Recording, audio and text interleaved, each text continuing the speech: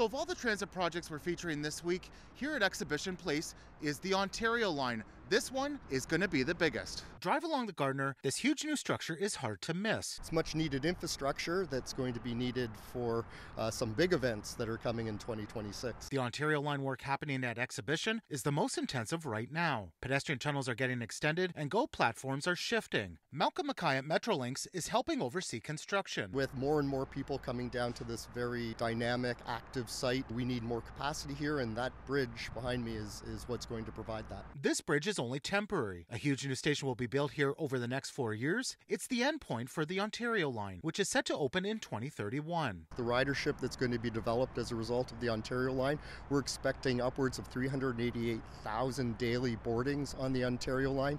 And this station here at Exhibition is going to have 12,000 people coming through it during its peak. It will also have extra capacity for GO Transit. Work on the 15 stop line hasn't been without challenges recently. Clearing trees above a new Osgoode station entrance and closing part of Queen Street to vehicles has sparked some criticism. But construction is making headway elsewhere. At the former Parliament site near Front Street, we've uncovered some very interesting artifacts and are preparing those sites for the commencement of construction. Over by the future East Harbour Transit Hub, we've been beginning preparation for the four track GO alignment and the two Ontario lines. As we head into 2024, Mackay says you can expect to see more signs of construction along the line. Mobilizing uh, tunneling works to King and Bathurst, Queen and Spadina. We're also going to be starting station construction at Queen, Moss Park, and Corktown sites. We're going to be starting the new bridge that's going across the Don River. It's a tied arch span, and uh, we'll be continuing our work on the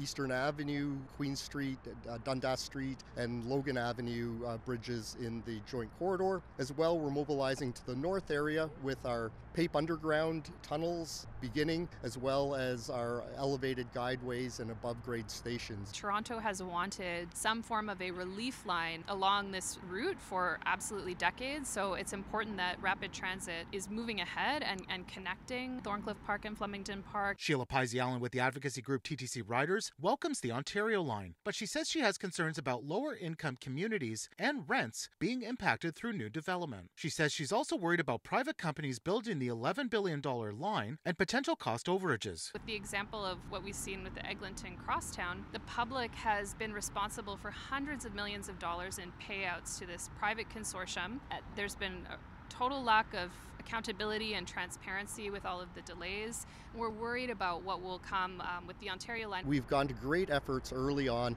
to minimize the impact to communities and businesses in the building of the Ontario line. We're going to do our very best to maintain uh, business as usual through the downtown core and up through the communities uh, all the way up to Don Mills and Eglinton. Coming up in part three of our Transit 2024 series, we're heading to Etobicoke to check out the Finch West LRT line. In Toronto, Nick Westoll City News.